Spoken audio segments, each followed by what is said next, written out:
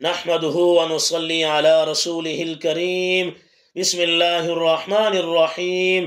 الدعا media channel کے دیکھنے والے، امید کرتا ہوں آپ تمام احباب خیر و عافیت سے ہوں گے۔ اور اللہ رب العزت تمام مسلمانوں کو اپنے حفظ و امان میں رکھے۔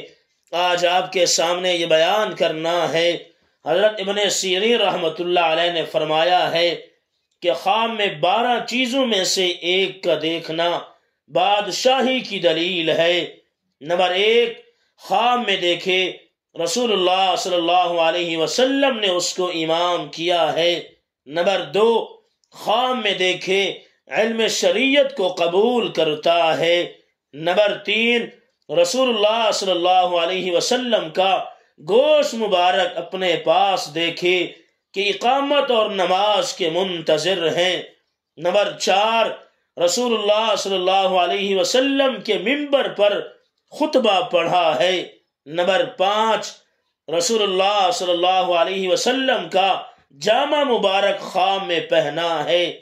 نمبر چھ، دیکھے کہ آفتاب یا محتاب ہو گیا ہے۔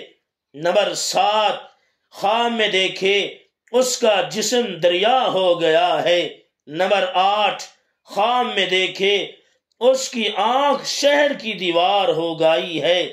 نمبر نو خواب میں دیکھے، اس کی آنکھ جامع مسجد کا محراب ہو گئی ہے۔ نمبر دس، کوئی مردہ بادشاہ اس کو انگوٹھی دے۔ نمبر گیارہ خواب میں دیکھے کہ اس کی آنکھ بیل جیسی ہو گئی ہے۔ نمبر بارہ، اگر کوئی خواب میں دیکھے بادشاہ کے سر پر دستار ہے۔